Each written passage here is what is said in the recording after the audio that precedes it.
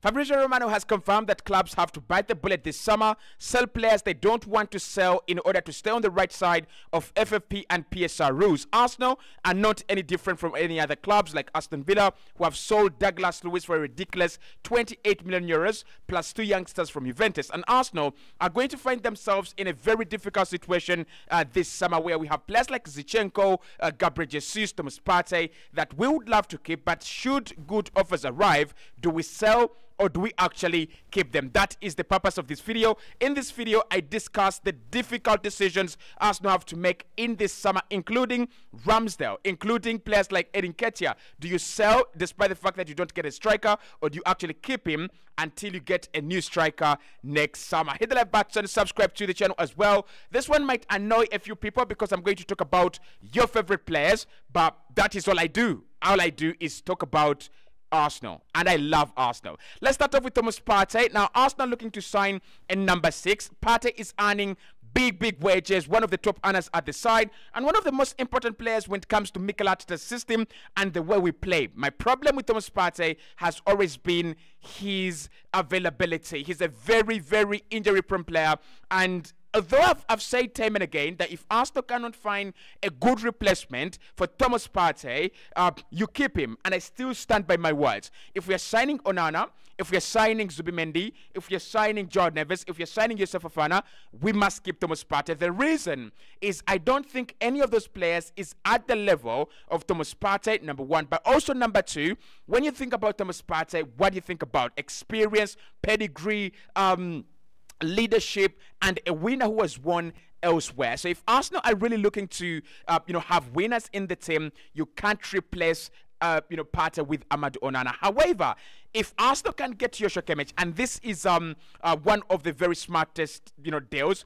we could actually do, and I think it it will still be uh, a very difficult decision for Mikel to make. Do you bring in Joshua Kimmich and let go of Thomas Partey? Now Kimmich is one of the top earners at Bayern. He's coming in at Arsenal. He's going to be he's going to want to earn uh, you know around 230 to 260 thousand per week. I think for me, at 29 years of age Kimmich at DM can win Arsenal the league. And it's a signing. It's, if you ask me one signing that definitely wins Arsenal the league, it's Joshua Kimmich. More durable, he's got the legs, he's um, you know, a physical fighter, in my opinion, and his mentality is of winner and top notch. So Partey, if Arsenal can raise 20 million in this window, and we are sure that we're going to get Joshua Kimmich because he has already said among my top five destinations, Arsenal is already there. If Arsenal can convince me, uh, you know, to join them, pay my wages, get an agreement with Bayern, I will actually join them. So for me,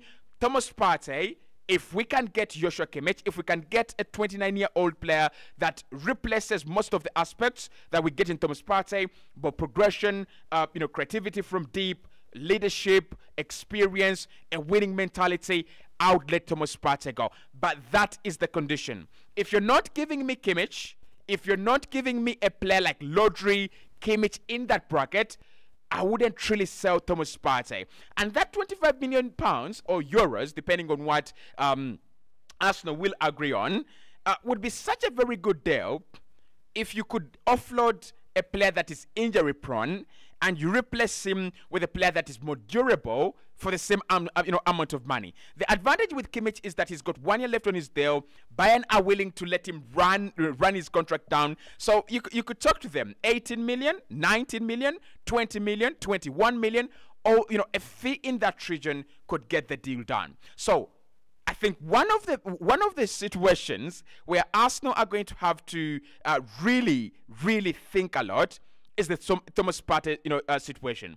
Do you add another midfielder and keep Thomas Partey? That means you're keeping his wages and you're adding more wages to his wages, right? Do you keep Jorginho, uh, Partey, um, you know, uh, Jorginho, Partey, and add another midfielder? In my opinion, no. You offload one of them, and that has got to be Thomas Partey if we can get Joshua Kimmich. The next player on this list, again, like I said, I'm going to annoy some of, some of you is Leandro Trossard. So Leandro Trossard has, uh, has, definitely had one of the best seasons, uh, you know, uh, you know, at Arsenal in an Arsenal jersey, scoring 12 goals and assisting around five times. That is around 17 goal contributions for Arsenal just in the Premier League. Obviously, he was phenomenal for us during our uh, Champions League season. But we're talking a 29 year old, 30 year old Leandro Trossard that is in form, on fire. What if an offer comes in? What if an offer arrives? Do we cash in on him or do we actually keep him? Now, this is what I'm going to say with Leandro Trossard. I would sell Leandro Trossard and listen to me. Listen to me. Leandro Trossard is a very, very important part of this Arsenal team a clutch player that is not going to ask for a lot of minutes, a clutch player that you are sure with Gabriel Martinelli in and out, out of form, with Saka picking up the, you know those injuries, and Kai Havertz uh, now being the only striker that is uh, reliable for Arsenal, Leandro Trossard can play across that forward line, and you get the same amount of value, um, you know, when he plays in each of the you know in, in each of the positions. He can also drop into that number eight position, so it's not a very very easy decision for us to say get rid of Leandro Trossard. But this is why I think Arsenal might actually be be, be able to get rid of uh, Trossard, sell him at the right price if the right offer comes in, get on the uh, you know get uh, the books right, and then also replace him well. Let's talk about a player like Eberechi Eze, and and of course Eze is not just a winger. Eze uh, is a player who can play in the eight, in the ten, on the right wing, and also on the left wing as well. Just a little bit like a Trossard. Now he doesn't score as many goals as Leandro Trossard, but of course, he creates more chances than Leandro Trossard. Eberechi Eze is young, he's English, that uh, you know helps you with the number of English players and homegrown players in the squad. That is um, you know a key part of um, of what Arsenal should be looking to do uh, this summer. I when I think about it, when I think about it, I'm forced to go. We can go and get rid of Trossard for around 30 million if there is a club willing to pay 30 million or 25 million and trigger the release clause of a player like Eberechi Eze, who's got, of course, longevity. His contract can be amortized for, for, for six, seven years, um, and we will be all right. So, again, for me, Leandro Trossard, next year or the, the year after that, Arsenal will be getting rid of him anyway uh, for around maybe 5 million or 10 million. So, if a good offer came in this summer, Saudi Arabia esque offers, I would cash in on Leandro Trossard. That is going to be unpopular. That is going to be unpopular. Next on the list is Gabriel Jesus. Now, I've worked with Glenn for a long time. Like, really a long time. Since this channel was created, one of the first people I worked with, one of the first persons I worked with on this channel was Glenn. And Glenn loves, uh, you know, loves Gabriel Jesus. But for me with Gabriel Jesus, the situation is not different from Thomas Partey. And actually, with Gabriel Jesus, I would sell him and not replace him right away. You know, with Gabriel Jesus, we always talk about his versatility. We always talk about his energy. We always talk about his quality um, and, and this and that. But last season and the season before that, there was one common theme that I didn't like about him. He is never clinical in front of goal. Now, unless Arsenal are saying we're not going to sign um, a new winger, we are going to have Gabriel Jesus play as our new winger, left hand side and also on the right hand side. But if Arsenal are looking to sign Eze, and Arsenal are also looking to sign Nico Williams Jr. and or Pedro Neto, that means that Mikel is looking to strengthen in the wide areas, and Mikel is looking to strengthen, uh, you know, in midfield with Eze, Onana, and uh, you know Williams. So the question is, where does uh, Gabriel Jesus now come in? That's my question. And I know um, it's about squads. It's not about positions. Um, you know, a player can rise through the ranks in the you know in the squad and then go down, things like that. But does he start at Arsenal right now? Does he really start ahead of Gabriel Martinelli and Trossard on the left? No. Does he start ahead of Saka? No. Does he start ahead of Kai Havertz? No. And is he a player that you bring on to win you a game? He changes games. He really, really does. But for me, if Arsenal are 2 0 down, he comes on. I don't think we go to 2 2. I think we can go to 2 1. And, again, he's a player that you don't want your best chances to fall to. So why would you give a player that you don't want your best chances to fall to 260k a week and keep him even when he's injury prone at the moment. So for me, with Gabriel Jesus, if a good offer arrive, Arsenal have to make the decision, and that decision is to sell. Now, of course, um, you know this is his third season out of a five-year deal, so you've got to give him that time. You've got to give him uh, that patience, that uh, you know window, and see how he actually does. But that is if a, you know a magnificent offer doesn't come in. If Arsenal can get 50 million right now for Gabriel Jesus, sell him because you don't know what's going to happen and I, I, might actually come back to this video later on in the in the season where I apologize or I say I told you so. Because listen if it doesn't work out for a, a second successive season Arsenal will be saying we wish we moved him on last summer and we brought in a proper winger or a proper forward right? So for me Gabriel Jesus good offer comes in good offer arrives outsell him I think if you cannot, uh, you know, compete with Kai Havertz, who is not even a natural forward, if you cannot compete with Eddie Nketiah in terms of, uh, you know, being available and terms of, uh, you know, importance to the team, I might have to say, brutally, you are done with Arsenal. Next on the list is ESR. Emil Smith Rowe. This one has divided a lot of op- opinions. Um, I'm one of the people that think ESR has to leave Arsenal for his own benefit. On the side of Arsenal, we've got to keep him. We've got to do whatever it takes to keep him. But in terms of the player, you've got to sell right? I mean, you've got to move on. If you want to play at the World Cup, if you want to play at the next Euros, if you want to compete with Jude Bellingham, uh, you know, which is very difficult, by the way, for England right now. Um, Phil Foden, uh, the likes of uh, you know Anthony Gordon, Saka, you've got to start playing football right now and regular football and serious football. Now, he is a serious talent, ESR, no question about that. And this Arsenal squad would massively, massively benefit from him. Massively benefit from him if he was fit and if he was, um, you know, on form. But again, he's another player that I've got to say I don't see him fit into this Mikel Arteta system anymore. I don't see him be as important as he was to Arsenal two years, you know, two years ago. In that title, uh, you know, title winning season, ESR didn't really contribute that much. Last season, ESR didn't really contribute that much, right? So in the last two seasons, he's not contributed that much.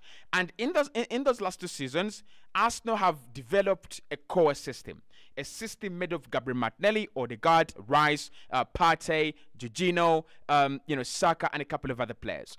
Unless there is a massive injury crisis at Arsenal, I don't see Emil Smith Rowe, uh, you know, revive his career in the Arsenal colours. But in black and white at Christ, uh, Crystal Palace, at Newcastle, I wouldn't want him to go to Crystal Palace. I would want him to go to Aston Villa or Newcastle. So for me, ESR is one of the players that Arsenal are sure they can get 30 and above million. 30 and above. It shouldn't be 30 or below. It should be 30 and above, right? We should be looking to break our transfer record, which is, which is at around you know 35 million. We should be selling Emil Smith for around 36 uh, million to 56 million, around there. So for me, again, Arsenal have a decision to make. He's one of the assets that can give us good money this summer, do you sell? Do you keep? For me, I would sell Emil Smith Rowe. Moving on. Part of the squad, um, very frustrated, Aaron Ramsdale. I think with Ramsdale, we think it's um, a straightforward decision. But there are three options here. Ramsdale could refuse leaving, uh, leaving Arsenal, which is um, very unlikely. Secondly, clubs might refuse paying what we want. Thirdly, Ramsdale and his entourage might request Arsenal to send him out on loan. He leaves, but he leaves on loan. Bullshit. I think with Ramsdale, the difficult decision is do Arsenal accept, you know, offers below 25 million? Or do we actually keep him for one more season, maybe send him out on loan, regard, regardless of what we do with him, and see whether his price can go up a little bit? For me, with Ramsdale, I would send him out on loan, Listen to this. I would send him out on loan because I know he's a good goalkeeper and he's good enough to start for so many clubs in the Premier League. So send him out on loan to a to a, to a club that you see he will start. He will start at least 25 games, right? He will do well in those championship clubs. He will do well um, in those um, uh, relegation threatened clubs. And we will be able to sell him for around 30, 35 million after he's played the whole season. Right now, I think we're not going to get good money. Tomiyasu is next on my list. Difficult decision with Takehiro Tomiyasu. Difficult decision with Jakub Kiwior. Difficult decision with Alexander Zinchenko. Let's handle them together. Zinchenko, oh, good offer comes in um, around 25 million to 30 million. Sell. Uh, there is no question there. Sell.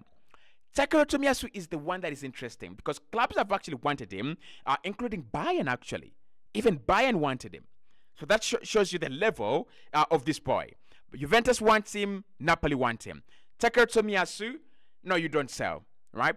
Unless it is mind blowing, like 50 million, you don't sell. Kiwior is one out sell. If Arsenal are given 35 million or 30 million for Jakub Kiwior, look, we've got to sell at the end of the day. So Kiwior outsell. The players outsell without asking myself any questions. Lokonga, sell. Tavares, sell. Zinchenko, sell. Eddie Nketiah, sell. Now, Eddie Nketiah obviously has, um, you know, we have a conversation, we have to have a conversation around Eddie. If Arsenal don't sign a striker, any striker, we will be left with two strikers, right? Eddie Nketiah and Kai Havertz. Gabriel Jesus, he doesn't want to score goals, so he's not a striker. So do you sell your second striker without signing a new striker? Because for me, signing Serhou Guirassy, I'd rather keep my Eddie Nketiah. Big up to you, Eddie. I'd rather keep you than sign Serhou Guirassy. Okay? So let me know what you would you would you do uh, with those difficult decisions. And I know I'm going to get a lot of abuse and stick on this one, but I have a thick skin. See you soon.